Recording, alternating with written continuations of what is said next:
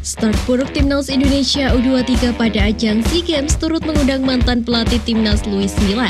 Dukungan pun dilontarkan pelatih asal Spanyol tersebut. Dan kini Garuda Space menyajikan informasinya sebagai berikut.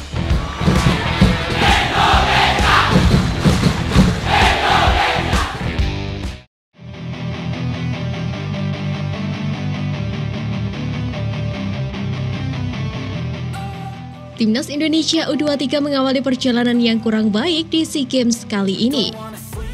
Selepas kekalahan melawan Vietnam, beberapa kelemahan skuad Garuda Muda jadi sorotan.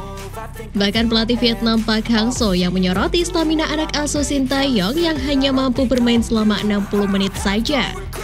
Kedati demikian, banyak pihak yang menilai skuad Garuda mampu bangkit. Salah satunya datang dari Luis Milla yang percaya bahwa Mark Locke dan kawan-kawan bisa menunjukkan kekuatan.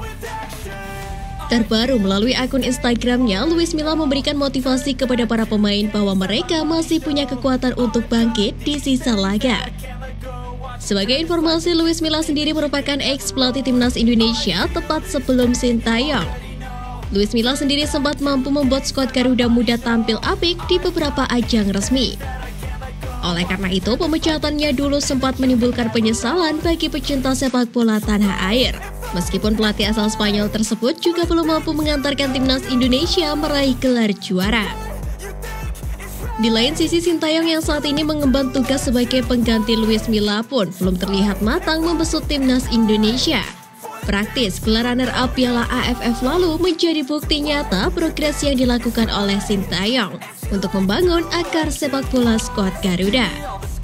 Di balik dukungan Luis Milla atas perjuangan Garuda Muda pada ajang SEA Games kali ini, Sintayong sendiri masih optimis menatap tiga laga yang akan dijalani timnas Indonesia U23 di fase grup.